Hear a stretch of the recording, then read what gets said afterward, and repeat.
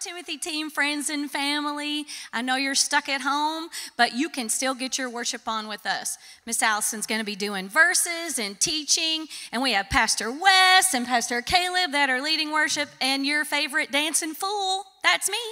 So uh, I just want to remind you that when you worship, you worship for the Lord.